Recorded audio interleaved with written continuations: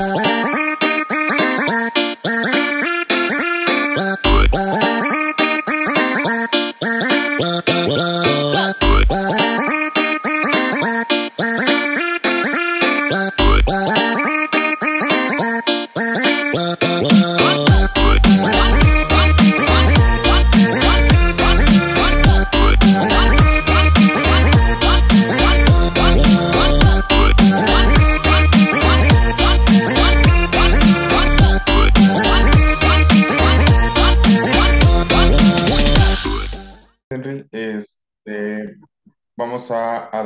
Inicio. Este, sí nos hubiera gustado que tuviéramos un poquito más de eh, participantes, pero eh, pues preferimos calidad antes que cantidad, ¿no? Entonces vamos a iniciar y eh, parece ser que mi red no es muy buena, entonces les pido una disculpa, no voy a encender la cámara por ahora y este ya vamos a comenzar a compartir, ¿vale? Eh, solamente para eh, entrar un poquito más en, confianza, en conocimiento. Eh, me gustaría presentar a, Mari en un inicio. o no sé si quieras presentar tú, Mar. Este, Adelante, gracias. bueno, Mar es una miembro activo bastante avanzada en, en el semestre. Este es de noveno semestre y pues ha estado poco tiempo en IMP, pero se ha eh, desarrollado y ha buscado eh, principalmente oportunidades para, para crecer, y específicamente en esta parte de los entrenamientos. Y este, pues bueno, yo, eh, mi nombre es Jesús, ya me conocen algunos, los que no, es mucho gusto. Y este, en este momento yo ya soy, ya terminé el, el, servicio social, entonces ya soy abuelito. Así que este, pues vamos a estar con ustedes un breve periodo de tiempo más, ¿no? Eh, bueno, vamos a comenzar con lo que nos atañe el día de hoy, que es comunicación y trabajo en equipo. Y va a comenzar en este momento Mari. Hola, eh, gracias por la presentación. Y bueno, eh, en sí, esta capacitación nos vamos a enfocar más que en abordar conceptos, es en reforzar aquellos que ya tenemos de base, porque si bien son conceptos que fuimos adquiriendo desde nuestra primera etapa educativa hasta la actualidad y poco a poco los hemos desarrollado. Eh, quise empezar con esta eh, pregunta para ver, o sea, como para romper el hielo y ver este, para ustedes, eh, para qué sirve la comunicación. Entonces, no sé si alguien nos quiera apoyar con su respuesta, por favor. Así que eh, adelante, tomen la palabra. Henry, ¿nos puedes ayudar? Ah, DLR, por favor. Sí. Bueno, yo creo que el, para que nos sirva la comunicación es para no pelearnos. O sea, eso es lo que se me viene a la mente ahorita con esa pregunta, como para no entrar en discusión. Claro, es un buen punto. Eh, nos dice Van Hurtado para entendernos, también es un buen punto. Eh, o sea, son conceptos muy, eh, pueden ser incluso personales y como les decía, o sea, que poco a poco los vamos desarrollando porque la finalidad es muy grande. ¿Le puedes dar la siguiente, por favor? Como tal, es un proceso en el cual vamos a transmitir y también vamos a recibir datos. Ya pueden, pueden ser en forma de ideas, de opiniones o actitudes, eh, como nos decía la compañera, para evitar eh, una discusión en cuanto a la resolución de eh, problemas. Y bueno, el objetivo como tal es causar un impacto, el emisor causar un impacto al receptor y poder lograr una comprensión y una acción diferente.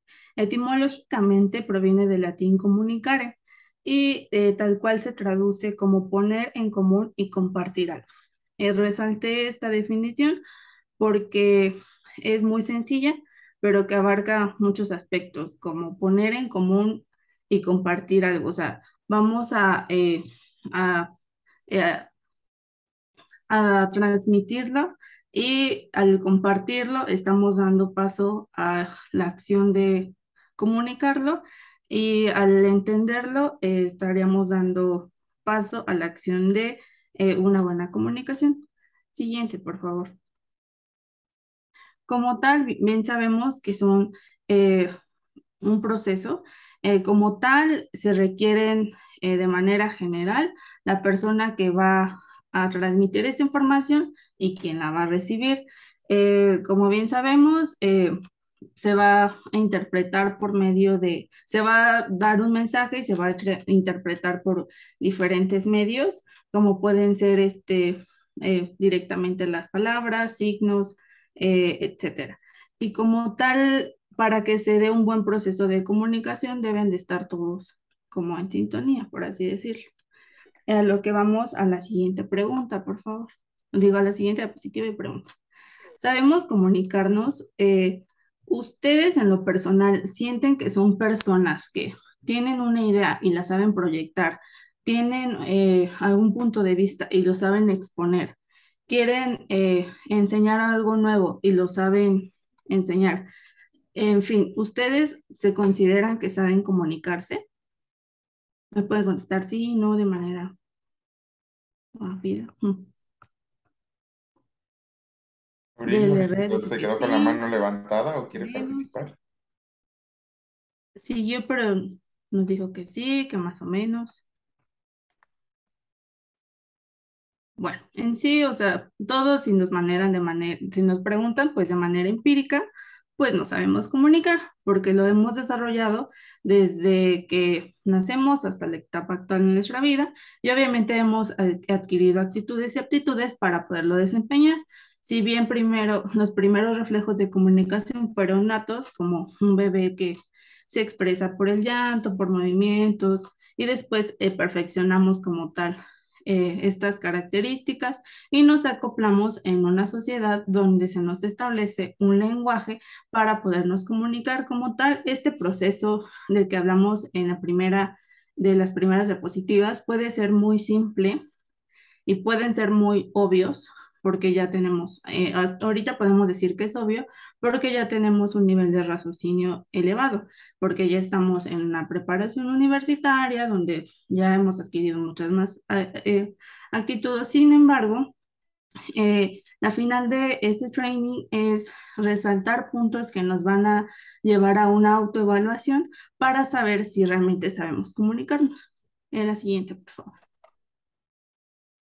Como tal, aspectos que tenemos que tener claros para que podamos eh, eh, comunicar ya sea una idea, una opinión, un punto de vista, un conocimiento nuevo, es que debes de tener estos aspectos muy importantes. Como tal, es muy fácil decir que de manera empírica no sabemos comunicar, pero tenemos que eh, hacer una autoevaluación y decir, ok, muchas veces nos pasa que es, por ejemplo, ponemos una situación con un amigo o con un novio, por ejemplo, que eh, le dijimos algo y él lo tomó de otra manera. Y tú dices, no, pues es que yo no te lo dije así, o sea, yo lo dije de buena onda, pero la otra, la otra persona lo interpretó de manera diferente. Quiere decir que hubo algo en la comunicación que no se llevó a cabo, por lo tanto, él no dio una buena eh, señal o bien el receptor tuvo otra interpretación. Por lo cual, es, o sea, los ejemplos son muchísimos. Incluso nos pasa, no sé, por ejemplo, en un examen que sabemos la respuesta y nos hacen un examen oral, nos pregunta el doctor eh, X tema. Lo contestamos más o menos, pero nos dicen no está mal. Y hasta nos enojamos, ¿no? Así de, no, pues es que sí lo sabía y lo dije, pero me faltó una palabrita. Pues a lo mejor esa palabrita hizo la diferencia. Entonces tenemos que tener estos puntos muy importantes al tener una idea, sobre todo cuando va a tener esta importancia de eh, hacer una modificación al receptor. Es que la idea sea lo más clara posible, eh, sea lo más clara, eh, sencilla, directa, sin meter palabras que no tienen que ser, y siempre vamos a evaluar el contexto que queremos este, hacerlo. Por ejemplo, eh, no es lo mismo eh, contestarle una pregunta a un médico que te está haciendo una pregunta sobre un tema médico a un paciente. Tienes que evaluar el contexto y de las dos formas debes de ser claro. Eh, debes de ser conciso entre menos palabras usemos rebuscadas, va a ser mucho más claro, o sea, es como una cadenita del bien. Esto nos va a llevar a hacerlo de manera correcta. Eh, esto desde eh, evaluar el tono en que se está usando, evaluar si tenemos un claro tono de voz, un claro, este, eh, por ejemplo, si es una imagen que sea lo suficientemente clara, que no tenga un trasfondo que no se note, al escribirlo que no tenga errores ortográficos. Eso es que sea correcto. Eh, que sea eh, cortés es siempre antecediendo el respeto. En compañía que refleje sobre todo lo que quieres dar a entender. O sea, la compañía es reflejar realmente el valor que tú le estás dando y que quieres que el otro sea receptivo. Debe de ser eh, concreta, específica, debe de ser completa, porque si damos una idea a medias, pues por lo tanto no va a ser clara, no va a ser concisa, no va a ser correcta. O sea, tenemos que evaluar todo esto. Y en caso de que sea eh, dudas o no la tengamos completa, debemos de tratar de buscar opciones o consultar eh, ya sea eh, alguna referencia para que podamos expresarla. siguiente, por favor. Por otro lado, nos vamos a poner en el lado del receptor y les haría igual la pregunta. ¿Ustedes se consideran que saben escuchar? Contesten todos un poquitos, por favor. Jesús, ¿tú te sabes escuchar? Si sabe escuchar, Evana. ¿Los demás? Sí, yo sí. Aunque yo creo no saben escuchar porque no me contesta. Ah, ok, ya no. Y bueno, pues o sea, es como otra pregunta que suena sencilla empíricamente, todo el mundo sabemos porque lo relacionamos con el canal que es la voz, ¿no? O sea, sí, sabemos. Pero bueno, vamos a dar unos puntos a resaltar para tener una mejor escucha. Siguiente, por favor. Y bueno, como tal, para tener, uno es lo mismo, eh, solamente tener, que nos pase, a una anterior, que nos pasen los sonidos a tener una escucha activa. Una escucha activa es eh, saber ser buenos receptores. Y para eh, saber ser buenos receptores y con ello tener una mejor interpretación de lo que nos quiere decir nuestro emisor. En una eh, escucha activa, los principales puntos a resaltar para que ésta sea eficiente es siempre mostrar empatía hacia el emisor, cuando tengamos dudas, podemos usar recursos como parafrasear, es decir, si alguien este, te dice, oye, el día está nublado, tú preguntas, ah, el día está nublado, o sea, con eso eh, la conversación y sirve para que se siga la línea de la que están hablando.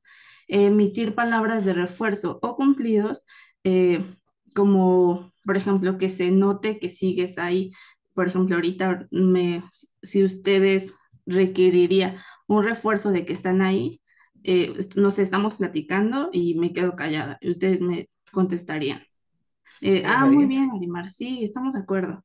Eso sería un, un refuerzo cumplido favorable que espero que hagan más adelante. Y eh, resumir es tratar de, cuando sean cosas como muy rebuscadas, eh, a veces sí son historias que tenemos que expresar, ¿no? O sea, tal cual es una historia lo que queremos contar, pero a veces eh, eh, hacerlo como de manera más específica lo que queremos dar a, entender y a escuchar y evitar este, o sea, llegar a, algo más conciso. Eso sería como el resumen. El siguiente. Igual, si me permites, así, a mí me gustaría complementar un poquito aquí. Eh, yo creo que es importante eh, considerar todos estos tips de escucha activa eh, y aplicarlos, ¿no? O sea, no solamente, por ejemplo, en las clases, no solamente en la familia, pero es una herramienta que les va a servir mucho, por ejemplo, en el internado.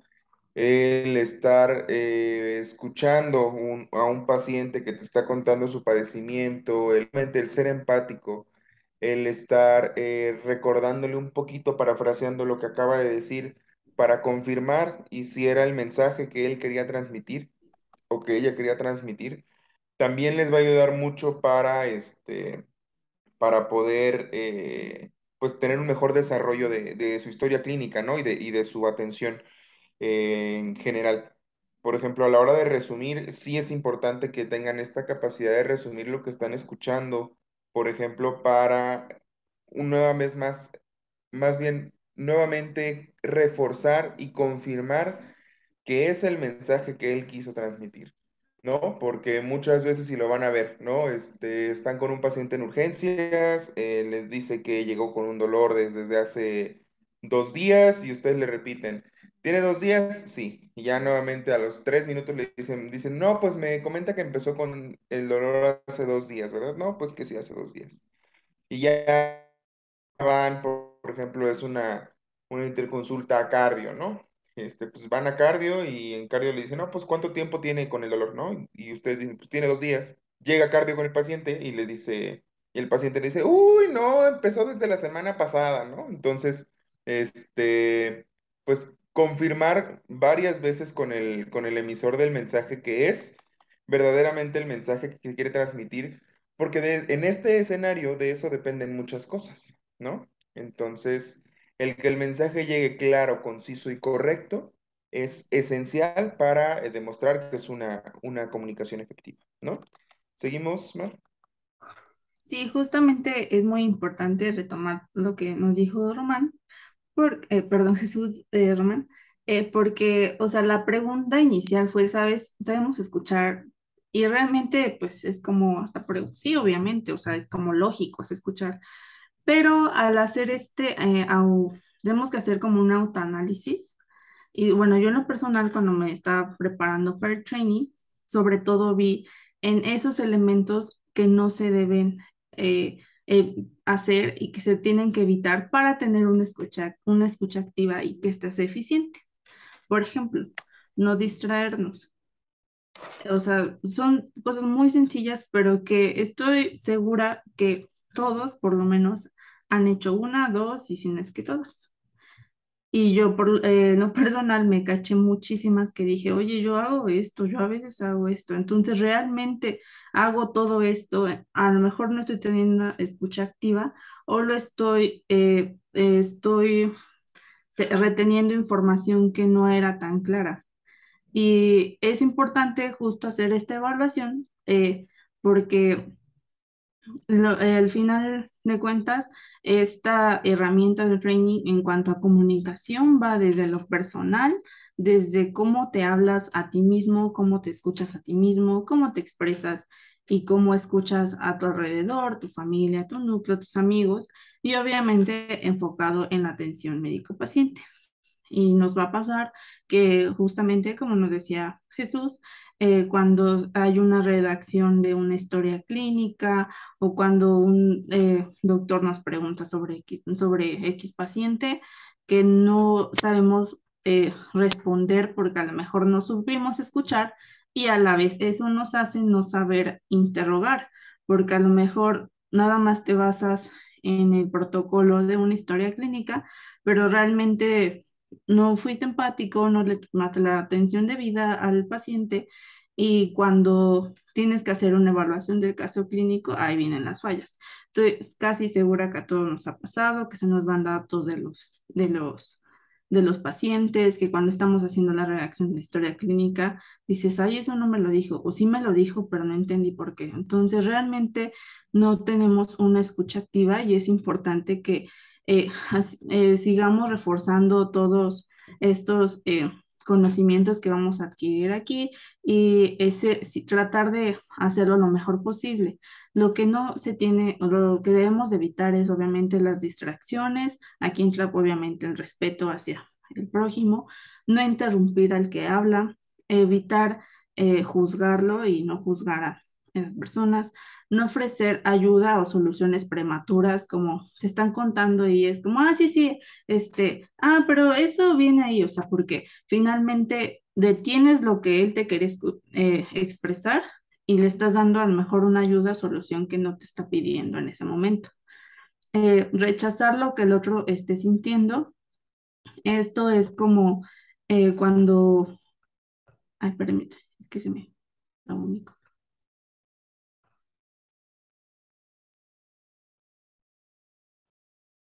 Ay, perdón, perdón. Eh, no rechazar lo que el otro esté sintiendo, minimizándola, como el tipo, el típico que alguien te cuenta y tú eh, por tu ego, lo que quieras, siempre dices, ay, no es para tanto, ah, ya pasará, o sea, no debemos de minimizar y no debemos de rechazar ni eh, evaluar lo que la otra persona está sintiendo por experiencia propia. No contar tu historia cuando el otro necesita hablarte. El típico que alguien te está hablando y de X tema o de, ay, yo me fui muy bien en el hospital y que no sé qué.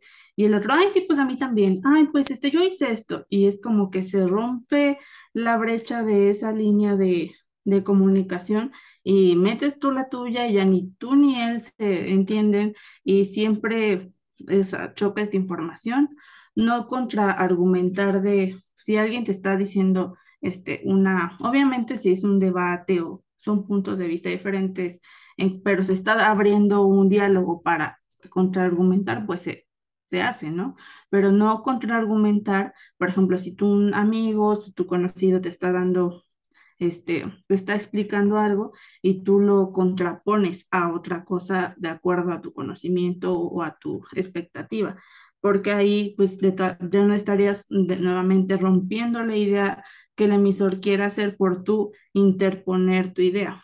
Evitar el síndrome del experto, esto es este, eh, parecido a, no, a rechazar y a contar tu historia.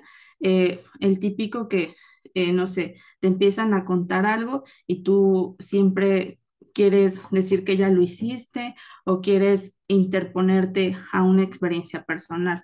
Aquí sobre todo, o sea, es eh, ser empáticos y saber ser receptivos a que no debemos de interceder las experiencias personales y lo que tú piensas en ese momento ante lo que los otros te estén diciendo, porque entonces rompes la, brecha de comunicación por interponer la, tuya y finalmente no se da una escucha adecuada. Entonces, con esta, estos puntos, haciendo una evaluación, realmente eh, podemos contestar la pregunta nuevamente y decimos sí, sí sé escuchar, pero a lo mejor no de manera tan eficiente, pero todavía podemos mejorar. Entonces, eh, teniendo en consideración estos puntos, pues nos van a servir mucho. Siguiente, por favor.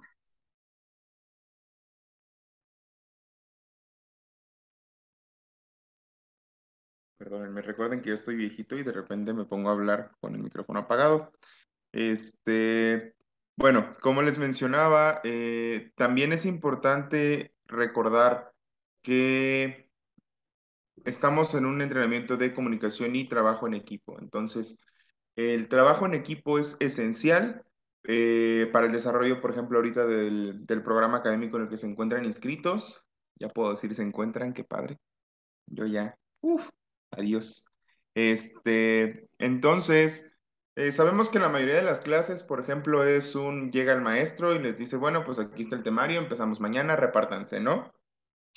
Eh, para algunos, en el mejor de los casos, son temas individuales, qué padre, ¿no? Toda la responsabilidad para ustedes, pero este, hay otros que dicen, ay, o sea, odio trabajar en equipo y me tocó con, con pura gente que ni conozco y ahora tenemos que dar un tema para mañana, ¿no? O sea, tenemos, siendo objetivos, menos de ocho horas para armar un tema de la nada y poder, y poder darlo de una manera eficiente el día de mañana a las 7 de la mañana, que es la clase, ¿no? Entonces, este, pues, ¿qué es lo que hay que hacer en, en un inicio? Comunicarse, ¿no? Ser claros, ser concisos. Si se hace un grupo de WhatsApp, por ejemplo, y tienen este, intención de hacer por ahí la comunicación, se va a perder. ¿Por qué se va a perder? Porque se la van a pasar mandando stickers, ¿no? Digo, nos conocemos. Entonces, eh, es importante, por ejemplo, mantener una vía de comunicación clara, mantener, eh, por ejemplo, aunque sea un poquito old fashioned, pero en la me funciona muy bien, eh, mantener la comunicación por correo electrónico o ahora que tienen más herramientas como Classroom, por ejemplo, este, puntualizar ahí y definir las tareas claras, ¿no? creo que es importante el comunicarse para poder obtener un resultado adecuado y optimizar el trabajo en equipo, ¿no? Y hablando de trabajo en equipo, me gustaría si alguno de ustedes pudiera contarme qué es lo que entiende por diferencia entre grupo y equipo.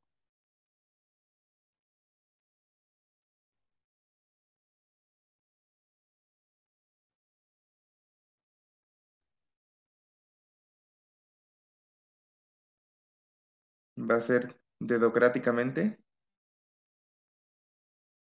A ver, Diana, ¿estás por ahí? Sí, solo que, bueno, no sé si fui yo o a ti se te trabó un poquito y no escuché una parte. Ah, eh, bueno, no sé si no me escucharon muy bien, pero a lo que quiero llegar es preguntarles cuál es la diferencia entre grupo y equipo. Ah, pues yo creo que grupo solamente es como pues un conjunto de personas y equipo pues también un conjunto de personas, pero que trabajan juntos, ¿no? Algo así. Este, por ejemplo, el grupo, sí, son personas trabajando en un mismo objetivo, ¿no? En una misma meta. Y este, el trabajo es coordinado por, por alguien, ¿no? Este, hablando de contexto, por ejemplo, salón de clases, pues siempre es, este, pues la morra de los plumones, trabajo así súper bien hecho y este, eh, y dice, y empieza a coordinar, ¿no? Coordina, tan, tan, ¿no? Es, el, de igual manera es gente, que es un grupo de personas que trabajan en una meta común, al igual que en los grupos, pero se coordinan o coordinan el trabajo entre ellos y se interrelacionan, ¿no? O sea, aquí la diferencia pudiera ser igual temporal, de que un grupo, por ejemplo, es un equipo para una exposición y tan tan, o un equipo de una rotación y ya. Y un este, equipo es más, por ejemplo, un equipo de trabajo de, de IMP, por ejemplo, la mesa directiva, o que tiene una temporalidad de un año, o este, algún grupo de estudio que están estudiando, no sé, para los finales, o posteriormente para estudiar para el ENAM, por ejemplo, y este, tienen una misma meta, sí, pero también se interrelacionan y la temporalidad es más larga, ¿no? Este, pues, aquí tenemos una, una pequeña frase que dice, Teamwork makes the dream work, que pues trabajando en equipo podemos tener más o mejores resultados, ¿no? Los resultados soñados. Eh, las características de un equipo es que justamente tienen interacción entre sus miembros. el tamaño, por ejemplo, no nada más son dos, son tres. eh, también pueden ser pequeños, pero idealmente los equipos pues tienen más personalidades, más gente, más eh, recursos, ¿no? Humanos e incluso este, físicos, ¿no?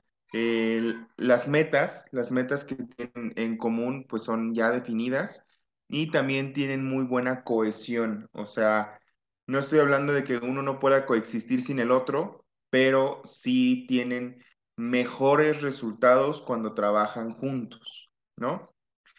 Pues bueno, hay distintas etapas de la construcción de los equipos que, eh, pues bueno, vamos a verlas en este momento. Por ejemplo, es el forming, que es la construcción de, de un equipo. Poniéndolo en contexto por ejemplo, hablando de la mesa directiva, el forming es, pues una vez que se dan las elecciones, por ejemplo, están eh, primero la etapa de que, o sea, quizás sí se conocían, pero nunca habían trabajado juntos, ¿no? Es, por ejemplo, el, conocerse, el saber qué, qué van a trabajar cada quien y poder este, empezar a, pues, a cohesionar lo que va a ser el, el equipo que va, que va a trabajar, ¿no?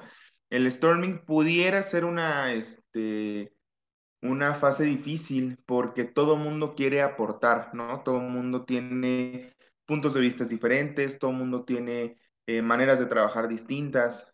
Por ejemplo, algo muy sencillo, ¿no? Hablando de un eh, grupo o de un equipo que va a ser para alguna exposición en alguna en alguna materia, pues hay quien dice, no, pues es que yo siempre he trabajado con la fisiopatología, y otro que dice, no, pero es que para mí la epidemiología es lo más importante y tenemos que tardarnos media hora hablando de epidemiología porque si no, no es una buena exposición. O quien dice, no, pues es que a mí me gusta hacerlo, este, muy minimalista, lo, lo hago en Prezi o lo hago en, en Canva, así muy bonito. Y otro que dice, no, pero es que lo importante es eh, poner fotos del libro, ¿no? Que a mí me parece horrible, pero ¿quién, quién lo hace? Este, y pues justamente esta fase del, del storming, o sea, es una tormenta de ideas, es una tormenta de, de voluntades para poder este, intentar trabajar en equipo, ¿no?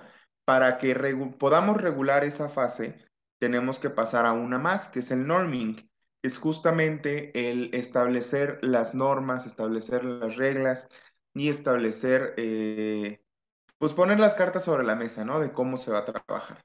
Posteriormente ya idealmente va a la fase del, performing, que es justamente el, el tener el, ¿cómo lo digo? El desarrollar el, el objetivo, ¿no? El poder, por ejemplo, si estamos hablando de, de dar la exposición, es justamente el, el presentar, el que todo, el que todo pase bien y el que todos los miembros del equipo brillen de igual manera, porque al final del día son un equipo, ¿no? Ahora, para construir un equipo, para trabajar un equipo, necesitan algunas claves. Por ejemplo, la este, medicina y en todos lados. Por ejemplo, ¿qué tal si están hablando de un equipo de rotación que van a rotar a, este, digamos, a, al Hospital General y van a rotar en quirófanos, ¿no? Este, pues tienen que dar una buena primera impresión, ¿no? Tienen que llegar con su quirúrgico bien limpio, con sus, este, con su gorrito bien puesto, ¿no? Eh, lamentablemente en medicina eh, todavía está muy normado o muy eh, tradicionalizada la imagen personal. Entonces, por ejemplo, para los quirófanos, pues alguna vez a mí me corrieron del quirófano por mi corte de cabello. Entonces, este, incluso antes de entrar, ¿no? Entonces también es importante tener una, buena imagen, una buena presentación y este, y pues no, por ejemplo, entrar eh, gritando o entrar eh, en algún punto siendo irrespetuoso, ¿no? Por ejemplo, hablando de rotar en quirófano, si es que no lo han hecho todavía, lo primero que tienen que hacer es presentarse presentarse, decir quiénes son, de dónde vienen, de, de qué grado son, si son alumnos de alguien de ahí del hospital y decir qué rol van a desempeñar, ¿no? Este, me pidieron, no sé, venir a, asistir o solamente venimos a observar, este, nos permiten eh, participar, ¿no? Entonces, con solamente eso, ya dieron una buena primera impresión de que son educados. Sumado a su presentación personal, ya tienen todos los elementos para que no los corran en primera instancia del quirófano, por ejemplo. Ahora, hablando de eh, los equipos, eh, tener un plan de comunicación bien definido, eh, saber en primera insta- instancia quién es la audiencia. Por ejemplo, si son compañeros, pues identificar cómo son, ¿no? Quizá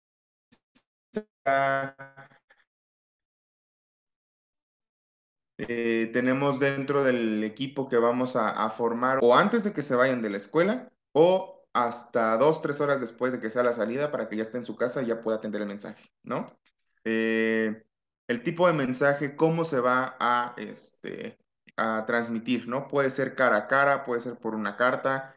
En este eh, contexto específico, yo recomendaría correos electrónicos, este, el eh, tipo de entrega, ¿no? De este, del mensaje, cómo se va a hacer, ¿no? O sea, si la comunicación sí se va a, hacer como en formato de correo electrónico, pues entregarlo por correo electrónico, ¿no?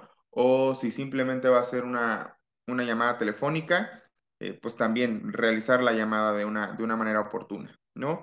Eh, digamos que no estamos hablando de una exposición, estamos hablando de un proyecto final, ¿no?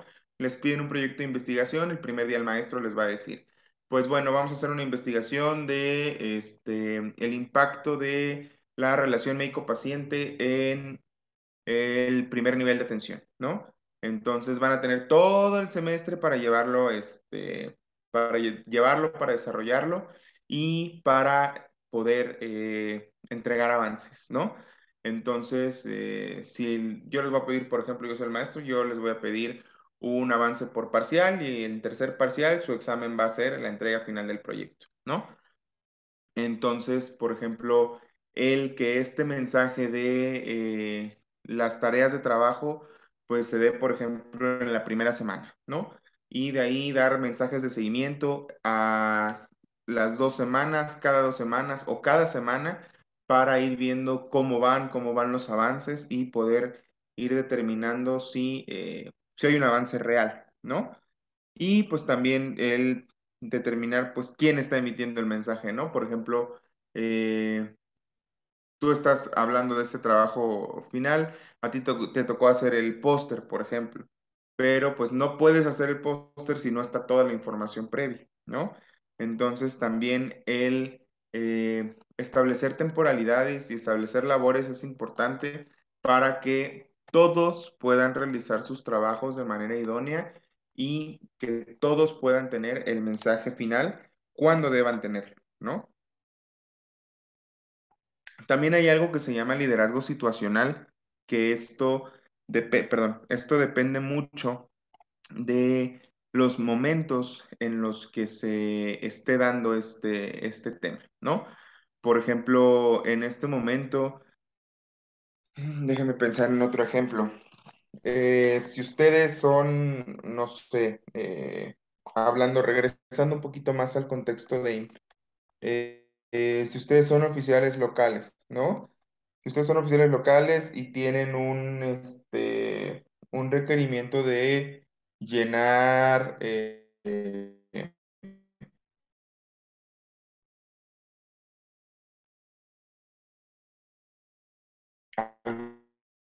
algunos fo- formatos, ¿no? Que han estado trabajando con su asistente, pues delegar, por ejemplo, la, la- el delegar una tarea tiene efectiva baja,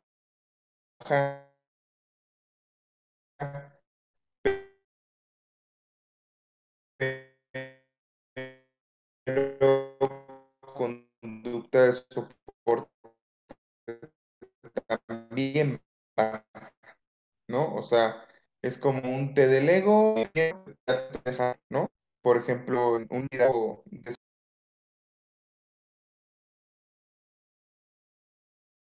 Rayos, se, se nos fue Jesús. Este, bueno, hay que esperar a que vuelva. Esperemos que no tarde.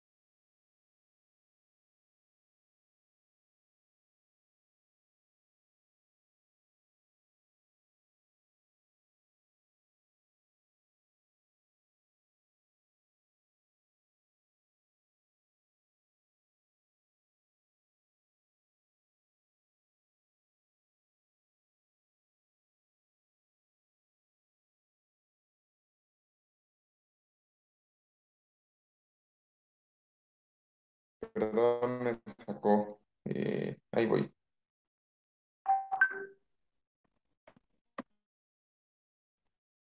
¿Me escuchan?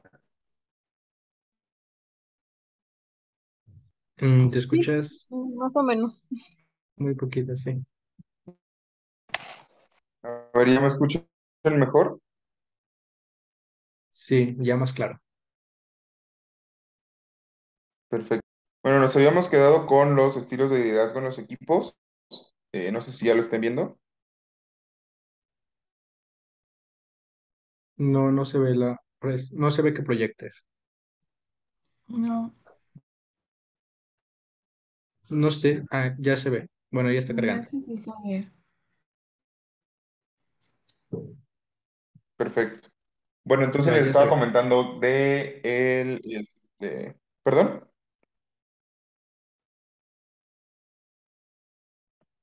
Bueno, creo que ya. Eh, les estaba comentando del liderazgo situacional, ¿no? Por ejemplo, hay veces que les va a tocar apoyar, ¿no? Eh, el, el soporte en un sentido de apoyar, eh, digamos que es alguien que en su momento y ustedes le enseñaron, ya lo capacitaron, ya supieron cómo, este, cómo trabaja y este, le dicen, no, pues sabes que tú te vas a encargar de realizar, por ejemplo, eh, algunos ejercicios de estadística, ¿no? Eh, que también es algo que no todos sabemos haciendo. No todos nacemos sabiendo más bien. Y este, ustedes ya le, ya le enseñaron a alguien y eh, pues lo apoyan, ¿no? En el sentido de que te va a tocar hacer esto y pues si necesitas algo, estoy aquí para, para ayudar, ¿no? Esa es como la, la acción de soporte dentro del liderazgo situacional. También está el coaching, que es justamente el, el enseñar o el coachear, válgase la, la redundancia, a alguien eh, desde cero, ¿no? Decirle, por ejemplo, en los puntos de prequi, ¿no?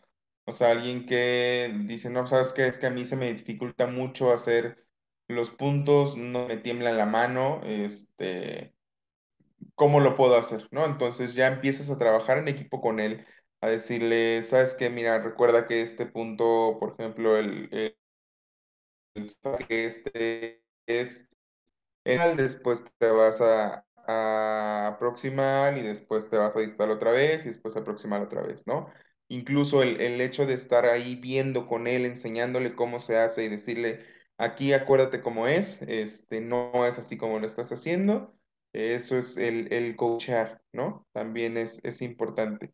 Y el dirigir, por ejemplo, en otro, en otro contexto, es pues sencillamente el identificar, por ejemplo, las fortalezas de sus equipos para poder eh, dirigirlos en las tareas adecuadas en las que creen que van a poder eh, participar más activamente cada uno de ellos, ¿no? Eh, también el, el decirles básicamente qué, van a hacer pudiera parecerse al delegar, sin embargo hay un acompañamiento importante, ¿no? Eh, también el, el situarse como líderes de sus equipos es importante para poder desarrollarse más, más profundamente como, como líderes en, en salud, que es lo que estamos buscando formar en, en IMP y en la MEF, y pues también ayudarlos a tener este crecimiento personal, ¿no? Por ejemplo, hay algunas técnicas de motivación para los equipos que tienen que aprender, por ejemplo, el no tener una rutina específica, ¿no? Por ejemplo, qué flojera si les toca hacer este en un equipo siempre, en un equipo de exposición siempre, siempre. Este, imagínate que tienes un equipo eh, para exponer en, en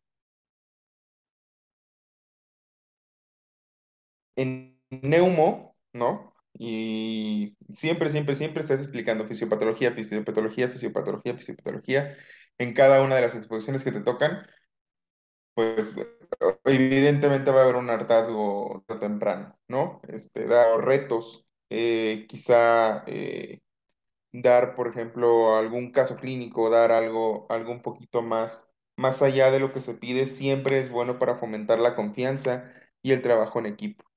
Eh, hacer un brainstorming, que todos aporten, que todos den ideas, que todos contribuyan, también es bastante importante. Y aprender a solucionar los problemas, porque evidentemente en los equipos siempre va a haber problemas, siempre, siempre, siempre.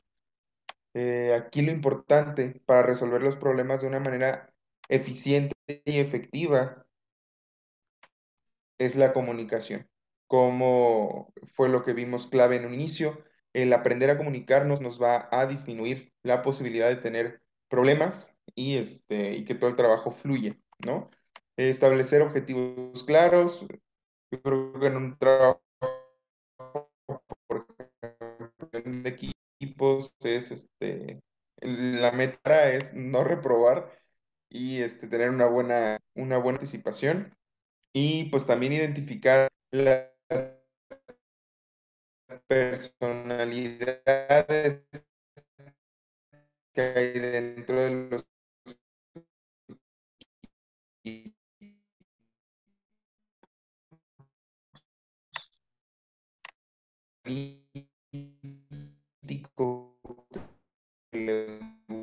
gusta, le gusta explorar todas las opciones, que le gusta, eh, vamos por la opción A, ¿qué pasa si nos vamos por la opción C? ¿Cuál es el riesgo de tomar una con más opciones, no? Este, el director siempre hay alguien que busca dirigir, siempre hay alguien que dirige, que, eh, bueno, eh, coordinando los equipos, eh, delegando tareas, eh, siempre hay alguien también que es muy importante, el carisma dentro de los equipos, porque pues no todos son cuadrados, ¿no? O sea, no, a mí me, se me figura un equipo sin, sin esta personalidad como los Pixies de los Padrinos Mágicos, así todos súper cuadrados, súper aburridos, y este pues sin, sin la chispa, ¿no? De, de tener un, un trabajo armonioso y efectivo, ¿no? Y pues hay alguien también que es siempre muy creativo, que encuentra soluciones alternas a los que, a lo que ya se habían planteado, que encuentra maneras eh, y enfoques distintos de, de ver las cosas y que pues también apoya mucho al, al desarrollo del equipo. Por ejemplo, yo aquí les preguntaría si alguien quisiera participar y yo creo que todos conocemos a los Avengers, ¿no? Pues decirme quién creen que es cada una de las personalidades en este, en este equipo que pues funciona tan bien.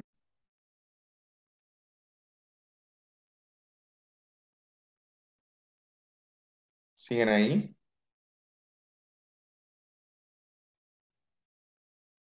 Sí, A ver, Henry, échatelo.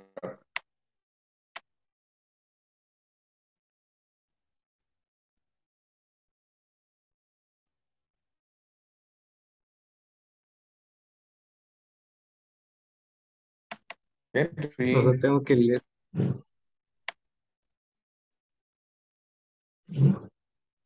Tengo que leer esos. ¿quién crees que es cada uno, por ejemplo? Es que te estás trabando muchísimo, Jesús. No entiendo. Demonios. Es que está lloviendo aquí. Este, ¿te está, ¿ya me Ya te escuchas? escuchas más. Ya. Ok. Te estaba preguntando que de las personalidades que les dije, que es el práctico, el, la computadora, el director, el carisma y el creativo, ¿quién crees que es cada uno en esta, en esta foto que les estoy poniendo y por qué? Mm, a ver.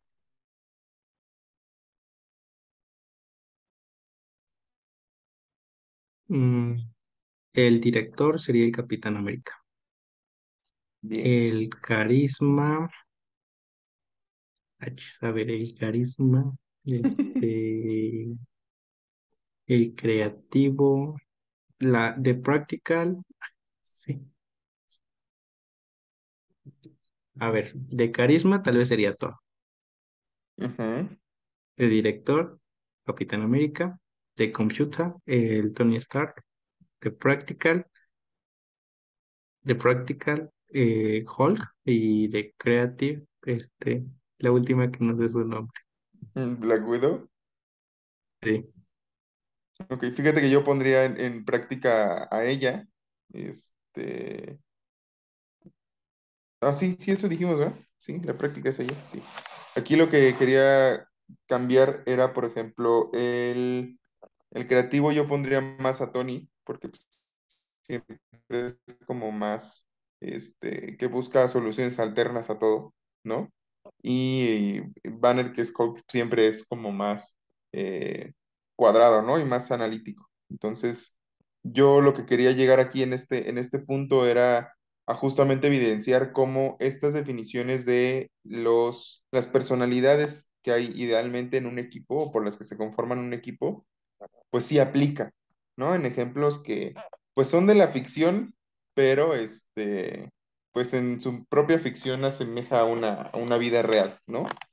Entonces, este, continuando, solamente recordar que eh, entre más se pierda la visión de eh, la diversión, del, del recreo en, este, en los trabajos, en, en estos, este, sí, en, el ámbito laboral del equipo, es más, eh, hablándolo en IMP otra vez, o en los comités locales, mientras más eh, cuadrado, estricto y aburrido sea el trabajo,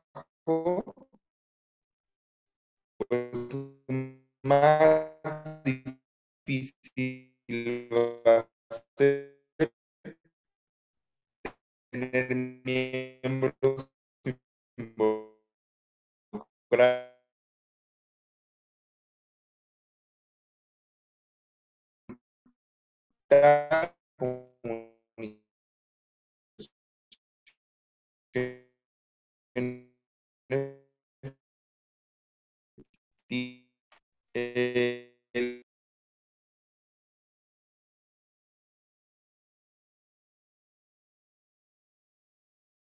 Este, no habrá forma de que le ayudemos a compartir la presentación. Maybe eso ayuda un poco a su audio, Mary. Sí, es que eso se trataba, de que tener problemas para que identificaran. Ah, muy bien. Estaba todo planeado.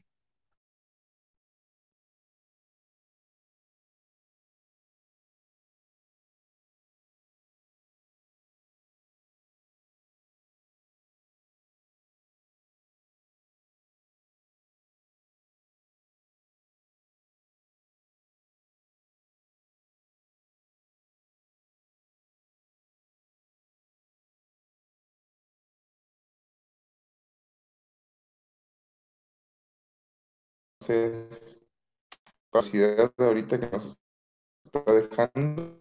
Bien.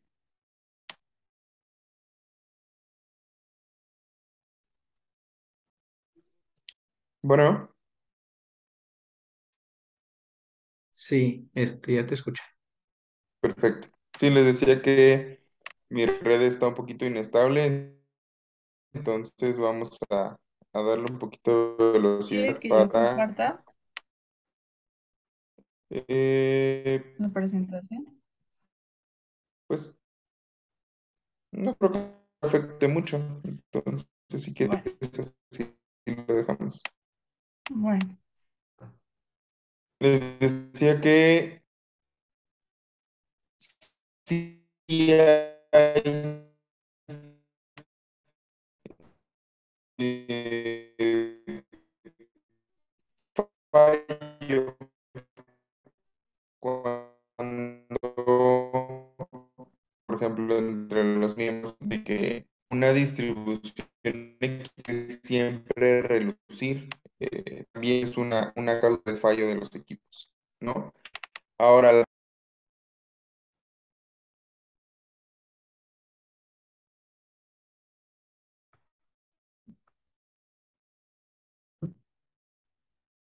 si mejor lo compartes, Mar, por cualquier cosa. Sí, es que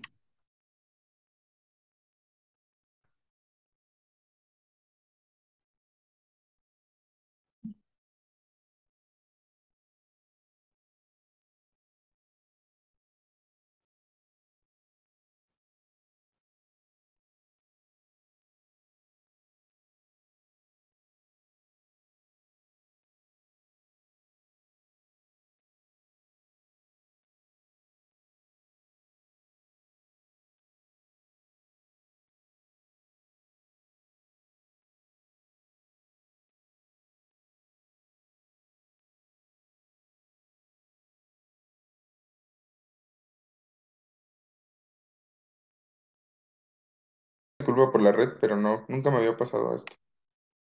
¿Cuál era? Estábamos Mm. en la 27.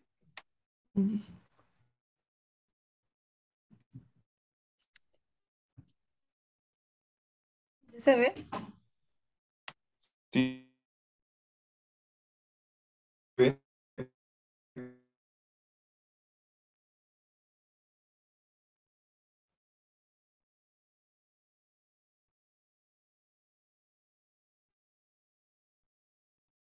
Una más.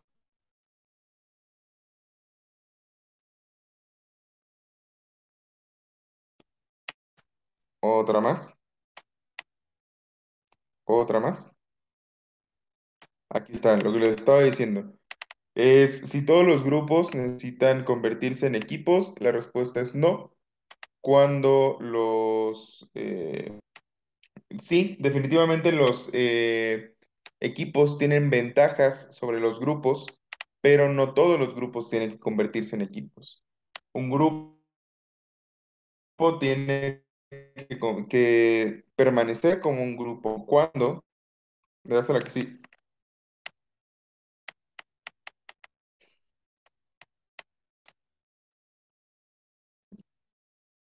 Ah, cuando tienen un periodo de tiempo muy corto, cuando solamente es una tarea, como les decía, un equipo de exposición es una exposición en todo el semestre y ya, no les va a tocar más con esas personas, pues no precisamente tiene que convertirse en un grupo. Puede convertirse en un grupo con otro enfoque, claramente, pero este, no para, para esa tarea en específico, ¿no?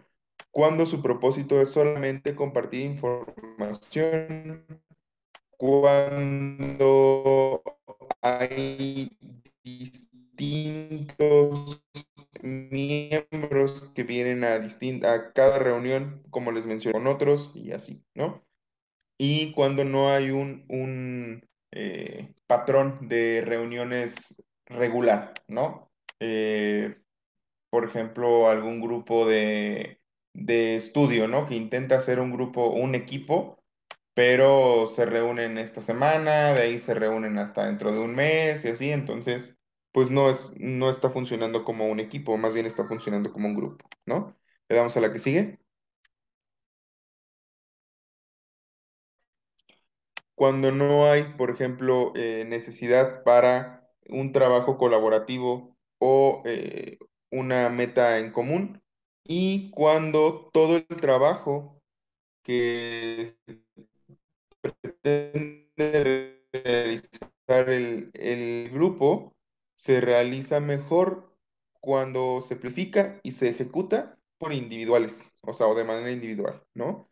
Entonces hay que tomarlo, tomarlo en cuenta. Por ejemplo, si van a hacer este, un trabajo en una máquina de escribir que pasa, por ejemplo, en urgencias, no tiene caso que hagan un grupo para hacerlo porque, pues, al final del día cada quien eh, trabaja a su ritmo, ¿no? Entonces, eh, le damos a la que sigue, por favor. Ahora, uno de los puntos que ya quizá está un poquito más fuera de lo que es el, la comunicación y el trabajo en equipo, pero que es importante para ustedes como miembros de IMP, es justamente fomentar el liderazgo, ¿no? Aquí les van unos pequeños tips ya líderes de un grupo, ¿no? O de un equipo en su momento. Eh, pues regularmente sí necesitan un poquito de experiencia para ser líderes y hay gente que nace siendo un, líder natural y otra gente eh, tiene que aprender cómo, cómo ser líder, ¿no?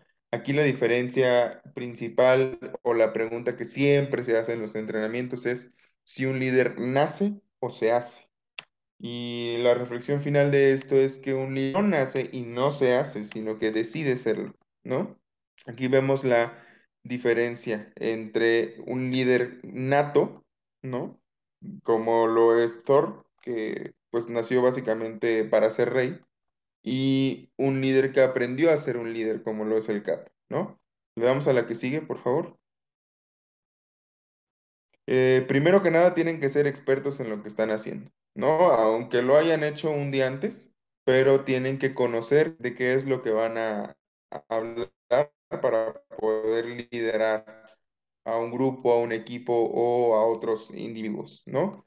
Le damos a la que sigue. Ahora, eh, también es importante el generar experiencia, ¿no? Por ejemplo, Thomas Alva Edison decía que no había fallado, este, dice, yo no fallé, ¿no?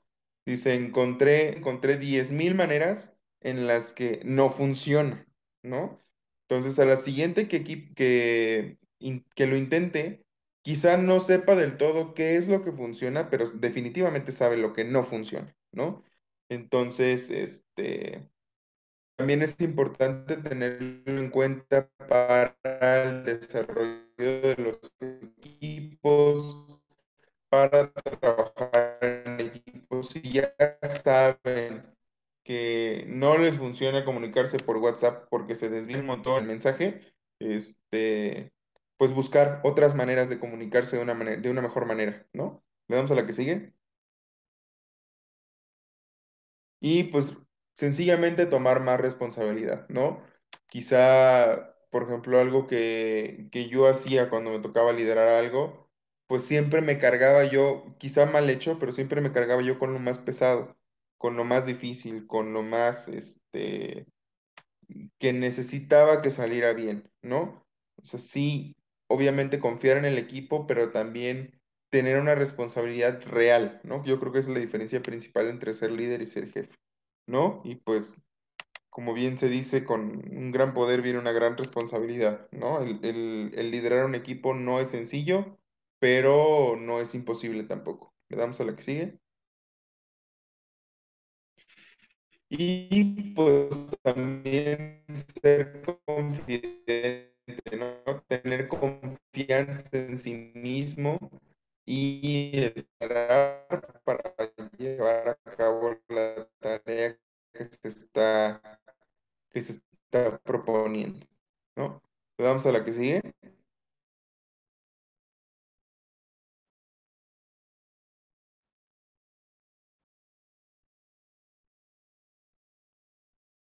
Listo. Y pues ya nada más para terminar, eh, la clave para un liderazgo, todos los elementos para poder ser líderes de un equipo de trabajo, saber cómo en sí, en un sentido positivo, sin eh, dejar de lado su eh, autonomía, ¿no? El que ellos hagan las cosas porque ustedes les están inculcando eso y no porque se los estén exigiendo, ¿no?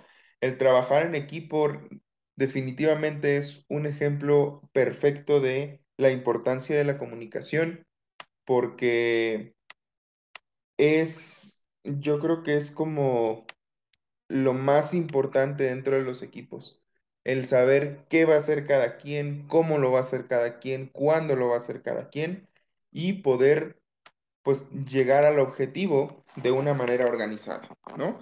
Eh, con esto pues básicamente estaría terminando mi participación. No sé si alguien tenga alguna duda y mi internet me permite responderla. En caso contrario, Henry, te estaría cediendo la palabra para cerrar. Si no, no hay alguien que tenga alguna pregunta. Mm, voy a compartir pantalla.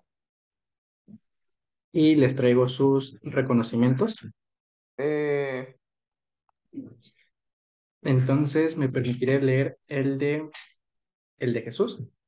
Y dice así. La Iniciativa Integral Médica Politécnica se enaltece de otorgar la siguiente reconocimiento a Lead Trainer Jesús Heriberto, agradeciendo su excelente desempeño y destacada participación como trainer del training, comunicación y trabajo en equipo realizado durante la Training Week 2022 de IM, del 8 de agosto al 14 de agosto del 2022. Muchas gracias, Jesús. y tenemos el reconocimiento de MEP, el cual dice así. La Iniciativa Integral Médica Politécnica se enaltece de otorgar la siguiente reconocimiento a Baby Trainer Marimar Cuevas Jaimes, agradeciendo su excelente desempeño y destacada participación como trainer del training, comunicación y trabajo en equipo realizado durante la Training Week 2022 de IM, del 8 de agosto al 14 de agosto del 2022. Y pues muchísimas gracias también, Mer. Y de verdad, muchísimas gracias a ambos por su participación. Considero que aprendimos muchísimo del tema y en este momento por el chat de Zoom les, estoy pasando el link de asistencia para que lo contesten y tenga su asistencia. Y pues creo que eso sería todo por el día de hoy.